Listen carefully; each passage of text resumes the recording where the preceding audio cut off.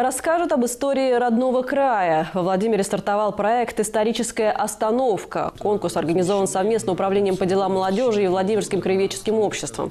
В проекте примут участие творческие работы на темы «Владимирцы. Герои Великой Отечественной войны», «Владимирская область. 70 лет со дня основания», «Лица улиц города Владимира» и «1025 лет христианства на Владимирской земле». Проект для молодежи, для детей прежде всего, да, ну и вообще для всех людей, а, прежде всего неравнодушных к истории города Владимира, ну и во-вторых, наверное, для всех граждан, для того, чтобы погрузиться в эту историю города Владимира. Проект у нас проводится впервые, но на самом деле опыт проведения подобного проекта существует, и пять лет подряд в Рязанской области проходит подобное мероприятие. А, и администрация города, естественно, поддержала проведение. Участником проекта может стать каждый желающий. Заявки на участие работы будут приниматься в Управлении по делам молодежи. Конкурсная работа должна представлять историческую справку на тематическом плакате, рассказывающем и иллюстрирующем ее содержание.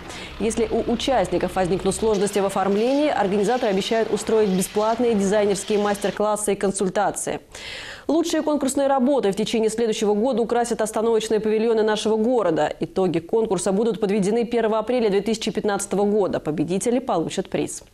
На основании решения конкурсной комиссии будет присуждено три приза. Значит, э, первое место – это главная премия в размере 3000 рублей – вторая премия в размере 2000 рублей и третье место будет денежная премия в размере 1000 рублей.